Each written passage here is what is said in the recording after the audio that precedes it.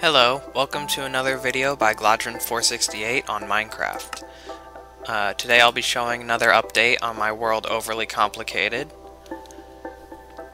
Uh, I've installed another sequencer uh, door, but this door is a little different, and I'll show you how.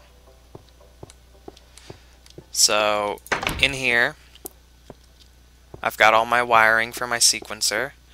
Uh, I've shown how to make these in a previous video, so I'm not going to talk about that in this one.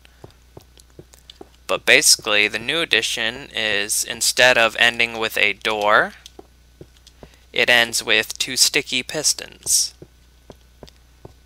And these sticky pistons have these two blocks attached to them. Um, let me put in the combination really quick and I'll show you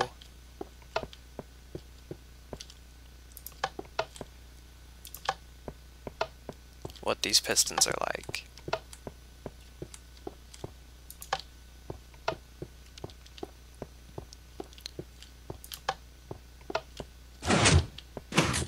See?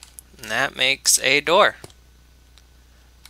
And here inside I've got a reset button.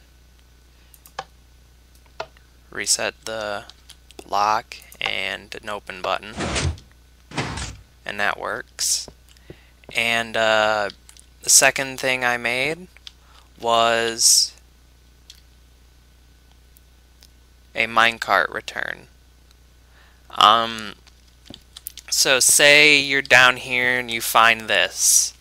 I mean, this would be unnaturally lucky, but still, for the sake of argument. But you look in your backpack and here's the problem. Full.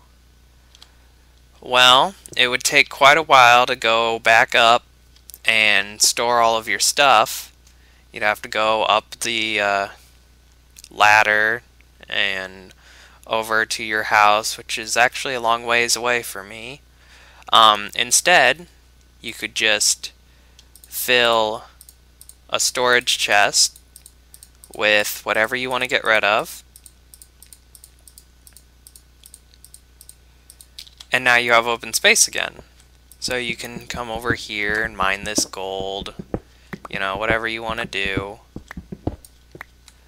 But then you've got the problem of, okay, now how do I get the storage chest back to my house? Well, you install a return. This return takes it all the way back up. Um, basically, you have to start with a booster rail.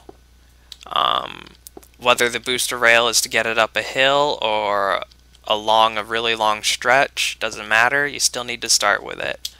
Uh, and when a storage chest comes up hills, they need booster tracks along the hillside.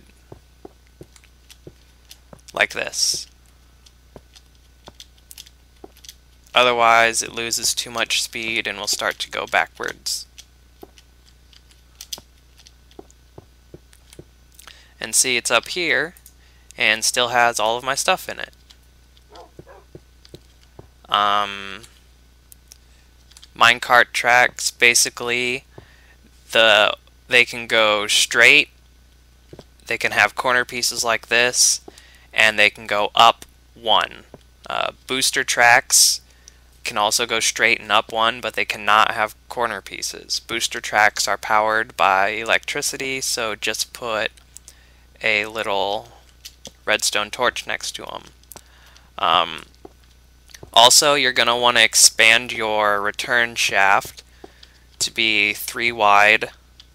Otherwise, the chest, since it's slightly wider than its own block, will get blocked by the walls and will be stopped.